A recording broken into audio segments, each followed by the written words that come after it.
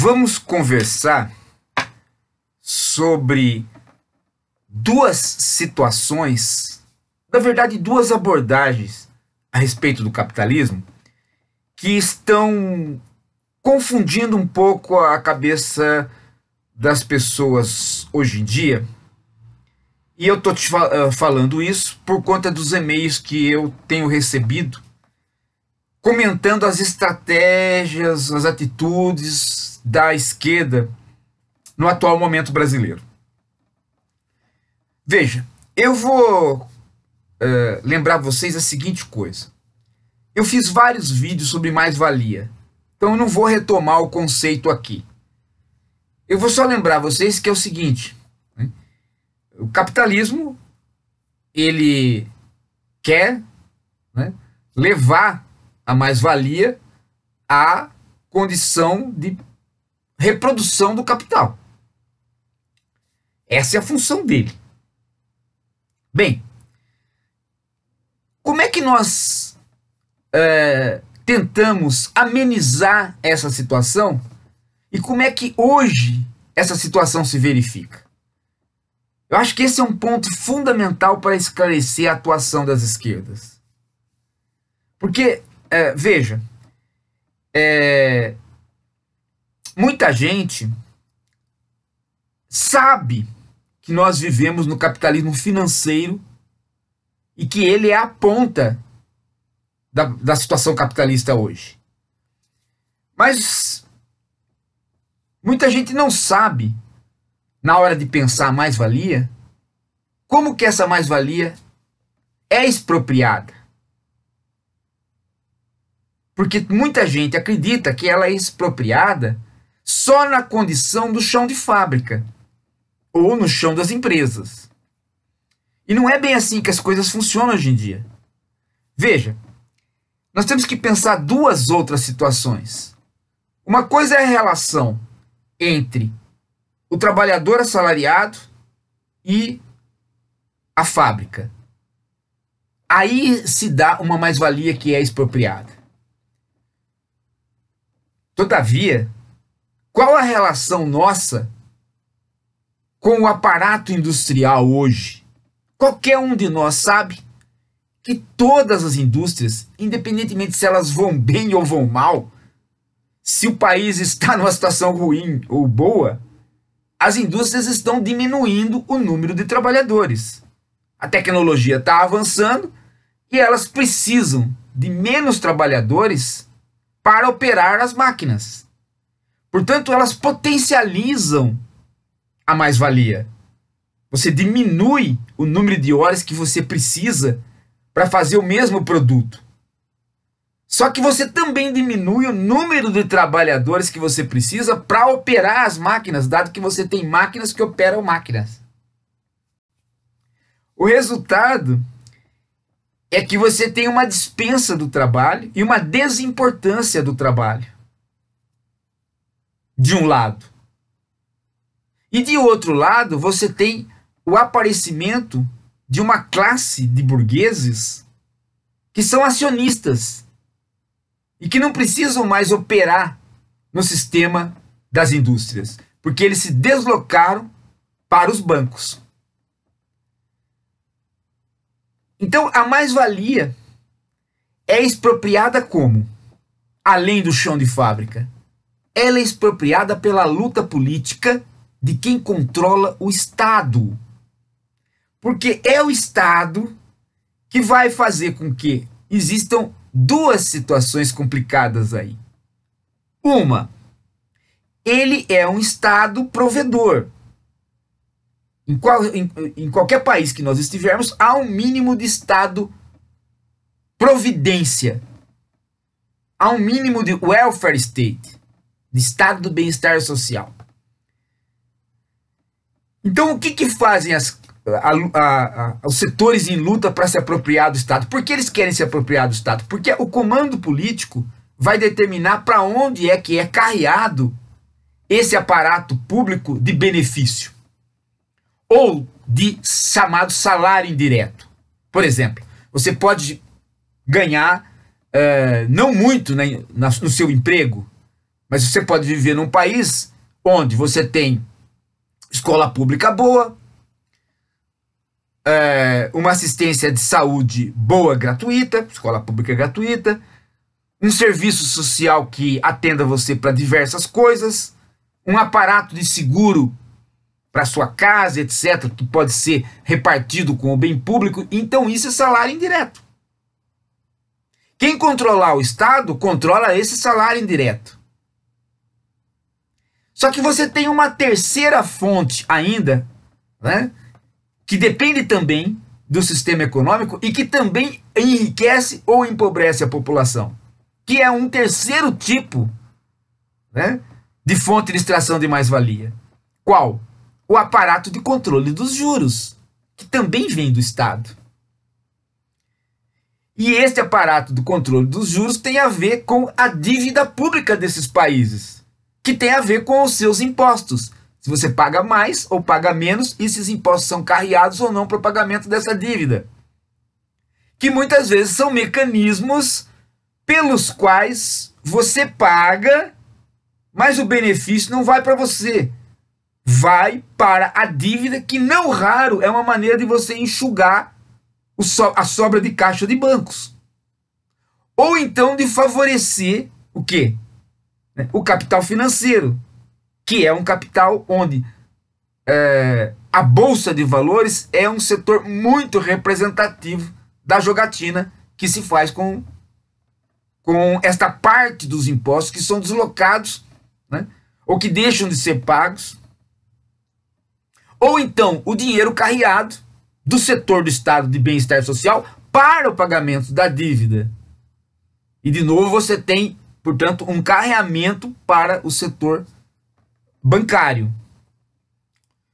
ou chamado setor intermediário, né? Porque esse setor bancário também pode ser um setor intermediário, ele pode fazer serviços para o Estado e cobrar. De modo que uma luta da esquerda num, numa situação atual, ela não é uma luta mais entre o trabalhador e o empresário, ou o trabalhador e o industrial. E, né? Você tem o quê? Você tem um deslocamento do trabalhador pelo controle do Estado para que o estado de bem-estar social não se perca em outras funções que não o bem-estar social da maioria. E um outro controle na luta pelo Estado é porque o Estado determina, através de regras políticas, os juros e também para onde vão os impostos e que tipo de dívida se faz ou não se faz. Então aí também é outra luta. Então veja que a luta para que a mais-valia não vá embora e ela retorne em, de, de certa maneira em termos de socialização da riqueza, ou pelo menos de, um, de, de uma certa riqueza, passa agora também por você controlar o Estado para manter o estado de bem-estar social e para ampliá-lo, e para ter o controle dos mecanismos financeiros que são ou de pagamento de dívida ou de geração de dívida, de, dívida pública. E, e, também em relação aos juros que se paga desta dívida e para todo mundo. Até porque né, essas taxas de juro também são taxas de juro que incidem sobre a sua própria dívida, ou seja, a dívida que todos nós temos com os nossos cartões. Basicamente.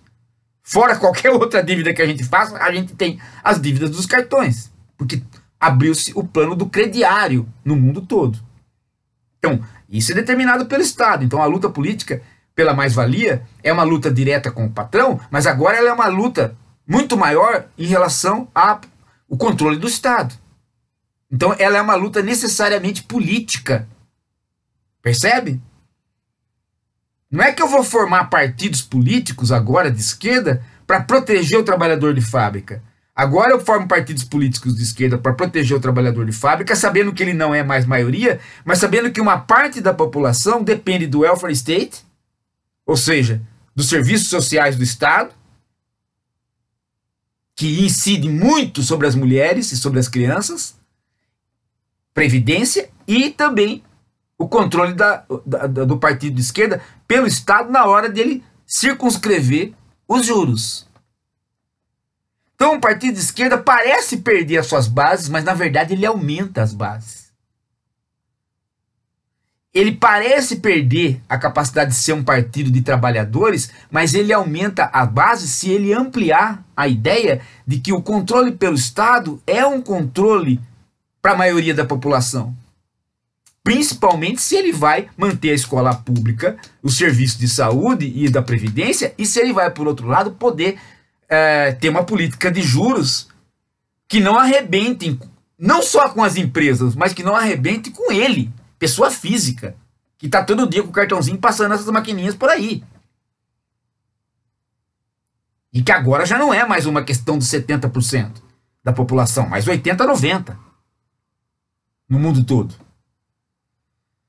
Lembrando que essa situação só foi possível porque desde 1970, né, o dinheiro virou um dinheiro magnético e sem lastro. Então você tem aí a perda do lastro, né? Quer dizer, os Estados Unidos não depende mais do padrão ouro e emite moeda, mas depois você tem o dinheiro magnético, que pode transacionar com facilidade, perdendo pátria e tendo uma, uma, uma condição volátil muito maior para se deslocar. Então, os juros se tornam aí um elemento central de luta política, pelo controle dele. Portanto, a luta política é necessariamente uma luta pelo Estado. Não só uma luta pelo governo, uma luta pelo Estado. uma luta pelo Estado. E nessas horas é preciso perceber que não existe neoliberalismo no sentido dito, mas num outro sentido. Neoliberalismo aí implica numa política de direção dos juros e do benefício do Estado. Mas não implica naquilo que muitos neoliberais dizem, que é retirar o Estado dele regrar a vida. Não, ele passa a regrar muito mais. O problema é que ele regra em função de certos setores e não de outros. Ou seja, o Estado mínimo é uma mentira. Ele é mínimo em relação a algumas coisas e máximo em outras. Por exemplo, o nosso Estado é máximo nas, nas circunstâncias da dívida, porque ele contrai dívida, ele regula taxa de juro e ele impõe para nós uma regra de bancária que nos faz devedores cada dia mais. Se vocês perceberem isso, gente, vocês percebem perfeitamente é, como que modifica a característica do partido de esquerda, como que ele ganha amplitude e necessidade de existir. E como que isso, a percepção disso, pelos próprios militantes do partido de esquerda, não está claro mais para eles. Eles ainda pensam segundo o modelo Fabril. Esse é um dado.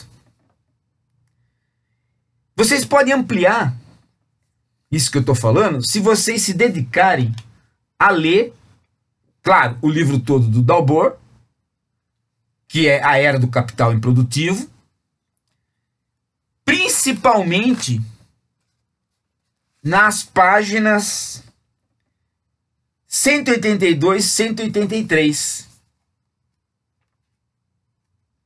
Que aqui no meu livro pertencem ao capítulo 11. A procura de rumos, caminhos e descaminhos.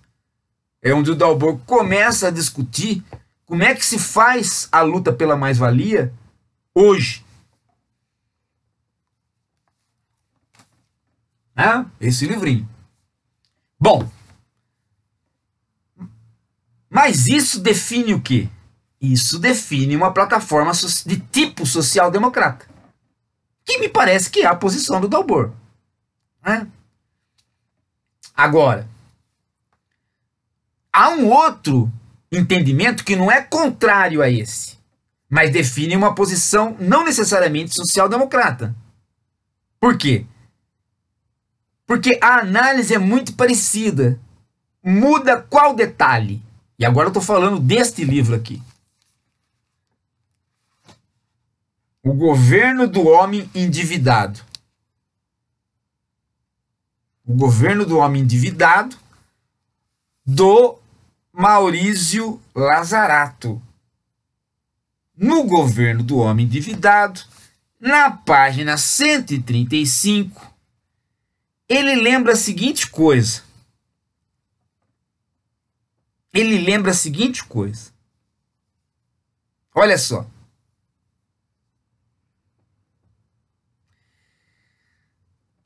Ele lembra de uma situação que a gente tem que ter em mente, que é que, primeiro, esse capitalismo financeiro, ele não é uma, um, uma situação de desvio do capitalismo. Não é que o capitalismo tem que ser industrial e produtivo e de repente ele se desvia e vira capitalismo improdutivo. Nananina. Nessa avaliação dele, e que tem a ver com a avaliação do Marx, a do Dalbor também, mas no outro sentido, né? que tem a ver com a, a avaliação do Marx, o capitalismo financeiro é a realização plena do capitalismo. Ou seja, o capitalismo industrial e comercial, eles fazem uma coisa que não completa, não realiza a função do capitalismo. Quem realiza a função do capitalismo é o capitalismo financeiro. Porque finalmente a, o, objetivo do capital, que é reproduzir a si mesmo da maneira mais abstrata possível, finalmente se concretiza. O que, que é a maneira mais abstrata possível? É quando você não tem mais que produzir mercadoria para produzir capital. É quando você pode produzir o capital pelo capital, ou seja, dinheiro gerando dinheiro.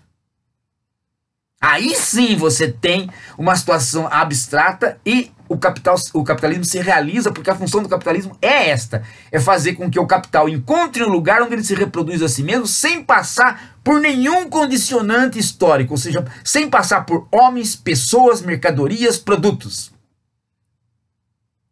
E na hora que ele se realiza, na hora que ele se realiza, é que você começa a entender que é, que a função do capitalismo é, é, é, o, é a, o acumular, o acumular o capital. E nessa hora é a hora que ele acumula mais e ele acumula sem condicionantes. De modo que você pode gerar aí aquele dinheiro que molda toda a sociedade. Porque agora você não produz mais valores. Dado que você não tem que produzir mercadorias. Você continua produzindo a essência do capitalismo, que é produzir valor. O que, que é o valor? o valor é a quantidade de trabalho que você despende né, em cada uma dos seus produtos. Mais o quê? Mas voltado para quê? Para o acúmulo de consumo. De, e quanto mais a situação for abstrata, ou seja, quanto mais você não precisar do próprio produto, mas você puder induzir o consumo por conta da do próprio fetiche do dinheiro e não mais da mercadoria, né? você achar que você pode mudar, você ser conquistado pelo dinheiro no sentido do fetiche do dinheiro. Né? Ou seja, o dinheiro cria vida e diz para você: olha o mundo de possibilidades que você tem se você estiver ao meu lado. Seu fetiche, por quê? Porque você tem um número de possibilidades restrito. Você pode ser rico e ter 10 carros, mas você não vai usar os 10 carros. Então é o fetiche. Né? O dinheiro cria uma situação de infinita possibilidade, mas você não é uma pessoa que pode exercer infinitas possibilidades. Você vai exercer só finitas. Então, você confere a ele um poder de vida, de comando sobre você. Não é mais a mercadoria que está comandando, é o dinheiro que está te comandando. É o, e o que, que é o dinheiro? O mero número. A mera quantia numeral que você tem lá numa conta. Ou que você deveria ter. Daí a obsessão pelo cartão de crédito, que abre para você um dinheiro sempre disponível, contanto que você pague os juros que é sempre maior do que aquilo que você vai realizar com o dinheiro. Mas se é assim, como é que faz para você manter o valor? É aí que a teoria marginalista se dá mal. Porque a teoria marginalista vem com aquele papinho do copo d'água, da lei de Pareto, né? Que os caras pensam que é o Mises que criou, mas A lei de Pareto. É a, é, a lei de Pareto é aquela ideia de que o copo cheio d'água né, não tem valor por ele, tem valor pela sua sede. um copo com pouca d'água, um pouco de água, pode valer mais do que um copo cheio de água por conta de que sua sede é maior. Então depende da sua sede. Se você tiver pouca água, né, mas uma sede que aumenta, pronto, você tem mais valor. Essa é a teoria marginalista. Mas vejam só, ela não trabalha com o um elemento central do capitalismo, que é a indução de demanda feita pelo dinheiro. Quando você bebe um copo d'água, você satisfez a sua sede. Então o copo d'água perdeu o valor para você, segundo a teoria marginalista, segundo a lei de Pareto. Mas no capitalismo, isso não funciona desta maneira. Por quê? Porque o dinheiro induz ao consumo. Ele induz primeiro você aplicar nele para ter mais. E depois ele induz toda a sua subjetividade aos desejos mil. De modo que você é capaz de beber não dois copos d'água porque eles matam a sede. Mas aí o capitalismo diz para você: você não tem que beber água. O gostoso é beber Coca-Cola. E Coca-Cola você não bebe uma. Você nunca mata a sede com Coca-Cola. Pelo contrário, você bebe uma, você bebe duas, você bebe três. Quanto mais você bebe, mais você quer. Isso, e assim todo o capitalismo funciona assim, com indução de demanda. Daí o marketing, e daí o poder do dinheiro fetichizado sobre você, porque ele induz a sua subjetividade a ser uma subjetividade desejante. Então não vai ter copo d'água mais. Ninguém vai oferecer copo d'água para você. Vai se oferecer para você alguma coisa que você não para de, de querer. De modo que você vai passar esse cartãozinho em maquininha sem parar. Nunca vai ter fim o seu consumo. De modo que o seu consumo também não precisa ser o consumo de mercadorias ou de produtos. Pode ser simplesmente o consumo pelo consumo, o próprio consumo de você investir o seu dinheiro e fazer ele crescer para realizar o que? Desejos políticos, por exemplo, de ter poder dizendo que tem dinheiro. Esta indução do consumo, essa indução do consumo, que na verdade é a indução do desejo pelo dinheiro, é o fetiche da mercadoria passado agora como fetiche do dinheiro. De modo que um número e não uma mercadoria passa a comandar você.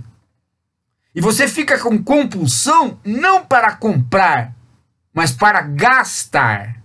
A compulsão não é para comprar, é para gastar. Você precisa gastar, você precisa ir no shopping e ficar rodando e gastando. Isso te alivia.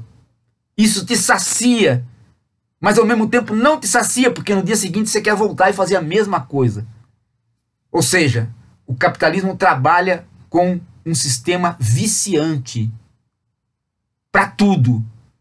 De modo que tudo que o dinheiro te oferece fica viciante. E nenhum marqueteiro do mundo vai inventar coisas que não sejam viciantes, porque senão ele perde emprego.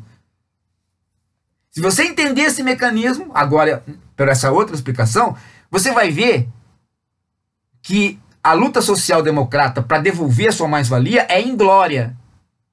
Porque ela não vai conseguir fazer com que você não entre nessa espiral de gasto. E por mais que abaixe o seu juro, mais você vai aumentar a compra. De modo que mesmo nos países onde o juro é baixo, o nível de gasto é tão viciante quanto. E a perpetuação do capitalismo se dá nesse sentido. Então, essa é o que você pode ver na 135 desse outro livrinho. Se você tiver essas duas coisas aqui na mão, já abre bem as suas perspectivas de entender este mundinho que você está vivendo aqui.